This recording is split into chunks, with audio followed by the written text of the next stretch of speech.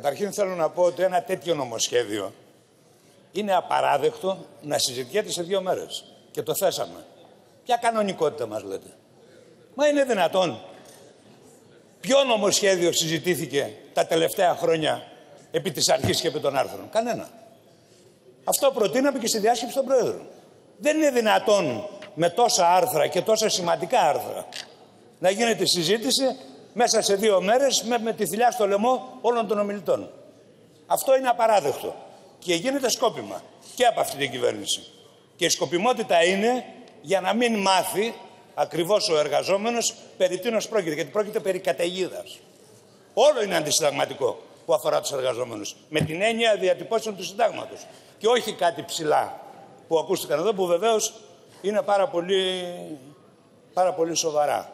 Επιχειρήματα, παραδείγματος χάρη.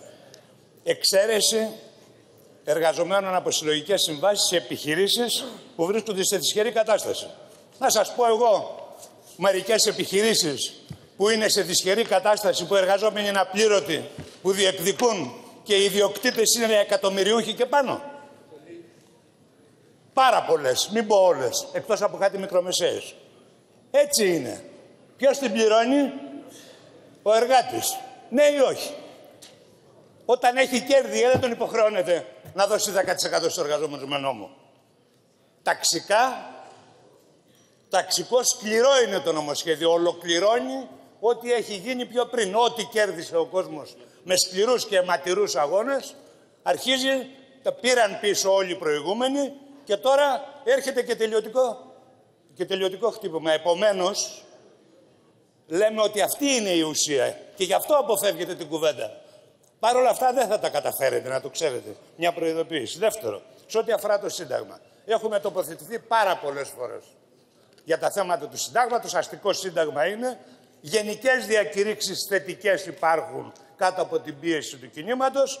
Αλλά βέβαια ο, η κάθε κυβέρνηση και ο κάθε υπουργός, οι κυβερνήσεις μάλλον, υλοποιούν ακριβώς με τον αντίθετο. Από, αντίθετα από ό,τι λέει η γενική διακήρυξη μπορεί να φαίνεται θετική. Παραδείγματος χάρη, λέει ότι όλοι οι εργαζόμενοι ανεξάρτητα φύλου κλπ.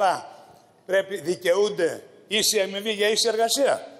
Ναι ή όχι; Πού κολλάει λοιπόν να έχεις 10 διαφορετικές συμβάσεις και 10 διαφορετικούς μισθούς σε αυτούς που δουλεύουν ακριβώς το ίδιο; Είναι συνταγματικό αυτό όταν εξαιρείς αυτούς που έχουν οικονομικά προβλήματα.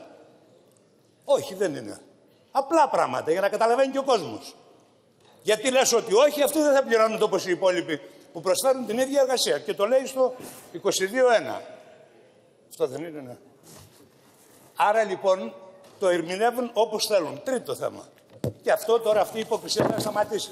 Ποιος κρίνει αν ένα νομοσχέδιο ή αν ένα άρθρο είναι συνταγματικό ή αντισυνταγματικό. Η 151. Ναι ή όχι.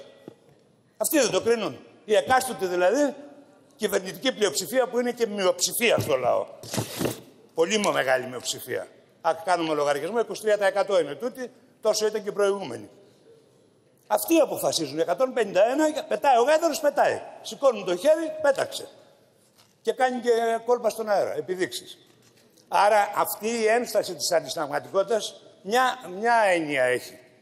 Να ενημερωθεί και να καταλάβει ο κόσμος το τι ακριβώς γίνεται και το τι κάνετε με το Σύνταγμα και το τι κάνουν οι κυβερνήσεις και το πώς είναι διατυπωμένο και το Σύνταγμα. Εμείς λοιπόν λέμε ότι είναι αντισυνταγματικές όλες οι διατάξεις που αφορούν τους εργαζόμενους.